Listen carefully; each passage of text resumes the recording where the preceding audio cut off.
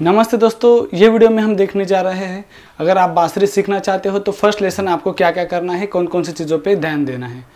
तो मोस्टली दोस्तों फ़र्स्ट चीज़ होती है कि हम जब भी फ्लूट में एयर डालते हैं तो हमारा एयर डालने का मेथड किस तरह से होना चाहिए, उसके बाद दूसरी चीज़ आती है कि आपका फिंगर का पोजिशन किस तरह से होना चाहिए, तीसरी चीज़ आती है कि आपको फ्लूट में एयर डालना, इसके साथ ही होल्ड करना, ये दोनों का कॉम्बिनेशन आप कितना मैच कर पाते हो, इस हिसाब से बाकी बाकी सब चीज़ें आगे की तय हो जाती है और उसमें क्लैरिटी आती जाती है। तो अभी यहाँ पे हम जो सीखने वाले हैं, सारे गमा पदनिसा कैसे बजाते हैं और उसके लिए जो जो फिंगर को पोजीशन कैसा होना चाहिए ब्लोइंग कैसा करना है, वो चीज़। तो सबसे पहले बेसिक चीज़ पे आते हैं, वो होती है ब्लोइंग हम इसमें एयर कैसे डालेंगे और उसके लिए हमारा अपर्चर वगैरह कैसा होना चाहिए, वो हम ये वीडियो में देखने जा रहे हैं।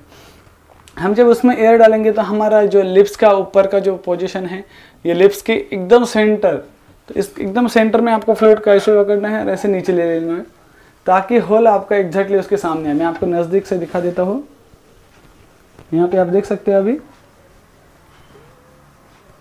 तो मेरा ये लिप्स के एग्जैक्टली नीचे, यहाँ पे आपको डायग्राम भी दिखेगा थोड़ी देर में।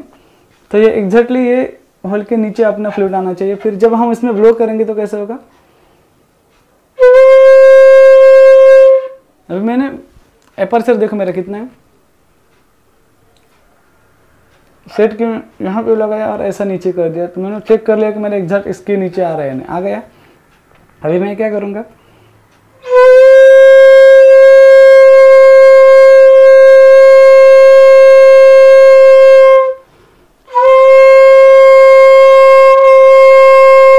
एपर्चर लिप्स का एपर्चर आपको जितना सही रहेगा, उतना सही आवाज़ आएगा। अगर एपर्चर ज़्यादा रखूँगा।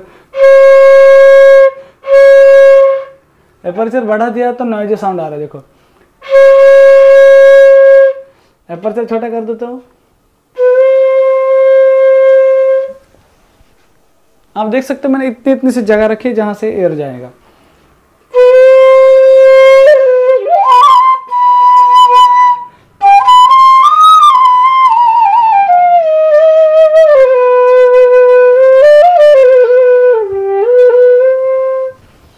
सबसे पहली चीज़ आती है कि आप जब उसमें एयर डाल रहे हो, आपका लिप्स का एपर्चर कैसे होना चाहिए? जैसे डायग्राम दिख रहा है, वैसे उसमें ज़्यादा से ज़्यादा एयर जाना चाहिए।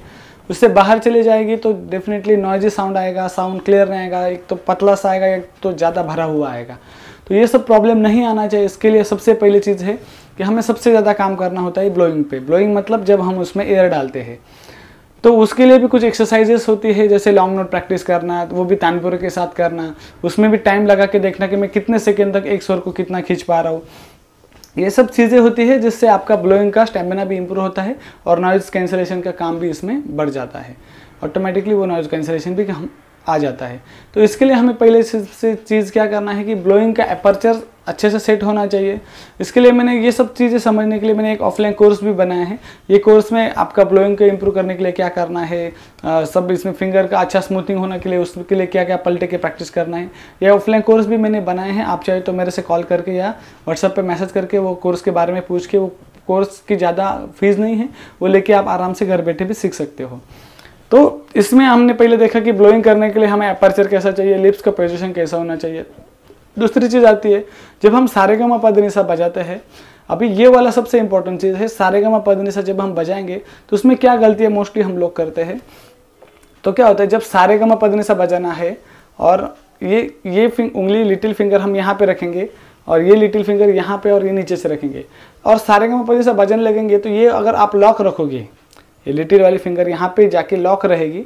तो सारे गमा पदनिसा बजने में आपको बहुत अनकंफर्टेबल फील होगा। फ्री नहीं लगेगा। तो उसके लिए आपको यहाँ पे क्या करना है, आप एक बार देख लेना। देखो, ये हमारा फिंगर का पोजिशन है, समझो, बराबर? अगर हमने सारे गमा पदनिसा बजाना है, ये फिंगर है, तब ये फिंगर को उठा लेना है। तो कैसे होगा अभी? सा आपको दिखा देता हूँ।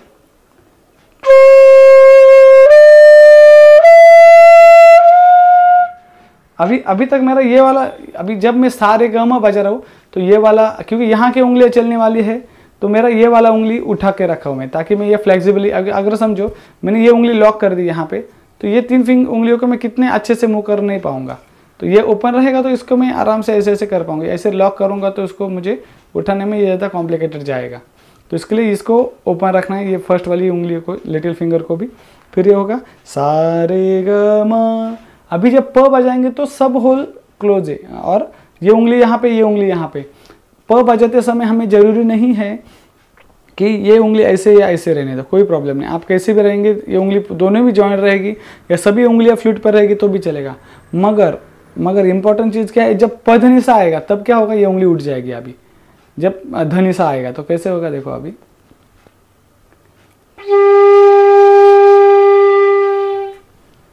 अभी यहाँ पे जब प आएगा तो इस तरह से होगा, जब ध होगा तो ध होने के, ध होने के पहले ये उंगली मेरा ऑलरेडी बाहर है, छोटी लिटिल फिंगर देखो, और ये वाली यहाँ पे फिक्स हो गई अभी। इसको ये फिक्स रहेगी तो प्रॉब्लम नहीं आएगा।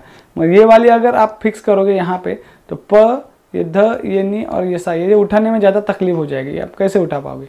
इसके लिए इसको फ्री कर दो पहले आप, ये वाली लिटिल फिंगर को। फिर कैसे होगा?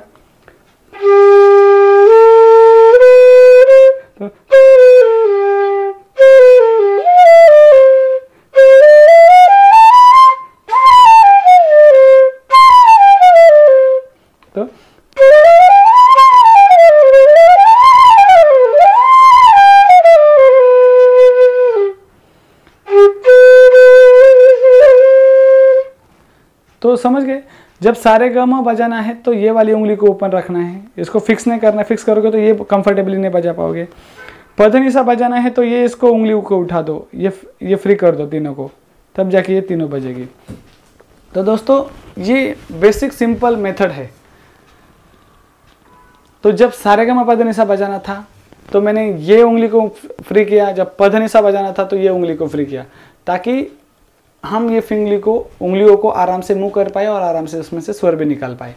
तो सारे गमा पधनिसा बजाने के लिए मेथड तो मैंने आपको पहला तो ब्लोइंग टेक्निक पे काम करना पड़ेगा। सेकंड आपको काम करना है सारे गमा पधनिसा बजाते समय उंगली को किस तरह से उठाना है।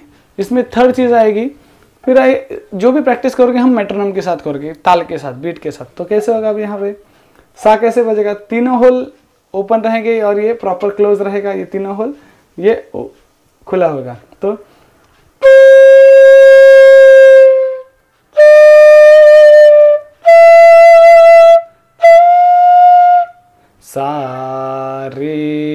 ग ये म ऐसा नहीं हाफ़ नोट म, फिर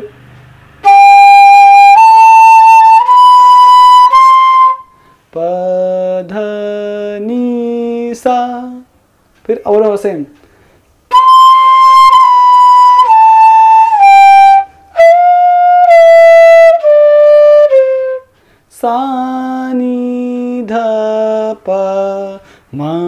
ध सा अभी दोनों में डिफरेंस क्या था?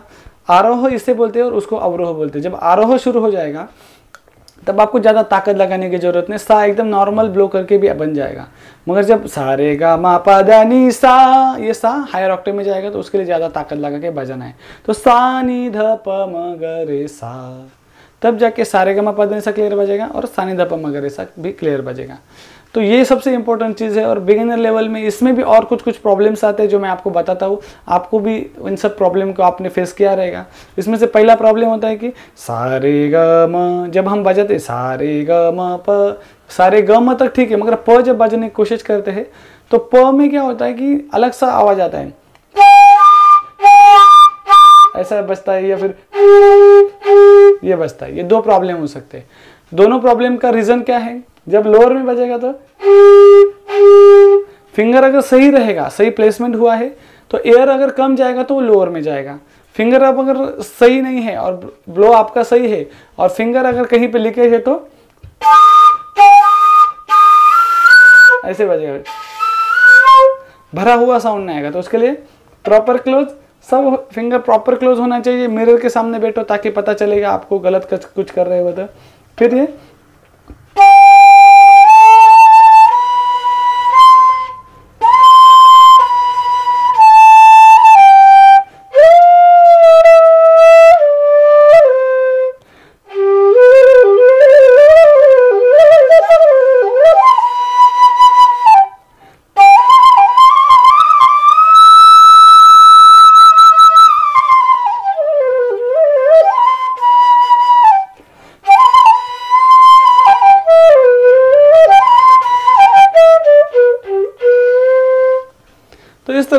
पे कमांड लाना है तो आपको सबसे पहले बेसिक्स हो जो जो चीज़ें मैं आपको बोला, वो सब चीज़ों पे आपको पहले फोकस करना है, उनको एकदम फ्लुएंट बनाना है। बिगिनर लेवल में मोस्टली तीन से चार ही प्रॉब्लम होते हैं। एक तो होल्डिंग का प्रॉब्लम आपके लिप्स का एपर्चर सही होना, जिससे ब्लो सही चले। उसके बाद प्रॉपर होल सब क्लोज होना चाहिए। ये कि हारमोनियम नहीं कि वो की प्रेस करने के बाद वही साउंड आएगा। इसमें अगर ये नी बजाना है, अगर यहाँ पे कुछ गड़बड़ करोगे, थोड़ा सा भी ओपन हो जाएगा तो नी में वो डिस्टर्बेंस करेगा। नी का साउंड क्लियर नहीं आएगा, वो अलग साउंड आ सकता है। तो इसके लिए फिंगर का पोजिशन सही होना ब्लोइंग आपका अच्छा होना, उसके बाद आपका सारे का पदनिसा क्लियर बजने का शुरू हो जाएगा। और उसको हेल्प लेना है तो आप अपने मिरर की हेल्प ले सकते हो। आप एकदम बिगिनर लेवल में हो और आपको सीखने की बहुत इच्छा है तो आपने मेरे ने इसके लिए एक ऑफलाइन कोर्स भी बनाए हैं, जिसमें स्टेप बाय स्टेप ये सब चीज़ें सिखाई है। इसमें बहुत सारे आपको वीडियोस लेंगे जिसमें स्टेप बाय स्टेप सिखाया है और बहुत डिटेल में मैंने एक्सप्लेन किया है। जैसे ये तो डेमो के लिए मैंने वीडियो बनाया था वो वीडियोस में मैंने हर एक चीज़ पे प्रैक्टिस के लिए क्या क्या करना है ब्लोइंग के लिए आपको एक्सरसाइज पर्टिकुलर क्या करना है फिंगर के लिए कौन सी एक्सरसाइज करना है गमक मीड मुर्की इन सब सब चीज़ों को कैसे पकड़ना है वो सब वो कोर्स में दिया है। तो आप अगर उसका फ़ीस भी बहुत ज़्यादा नहीं है आप मुझे व्हाट्सअप या मेरे मेल आईडी या डायरेक्ट कॉल करके भी मुझे पूछ सकते हो और, और डिटेल जानकारी ले सकते हो। वो लेने के बाद आप इन सब चीज़ों को प्रैक्टिस करोगे तो डेफिनेटली आप कहीं ना जाते हुए भी आप आराम से घर बैठे भी बांसुरी सीख सकते हो। एक लेवल तक तो आप आराम से गाने वगैरह बजाना, आराम से इससे सीख जाओगे। तो दोस्तों, आज के वीडियो के लिए बस इतना ही। मिलते हैं अगले वीडियो में। जय हिंद, वंदे मातरम, जय श्री कृष्ण।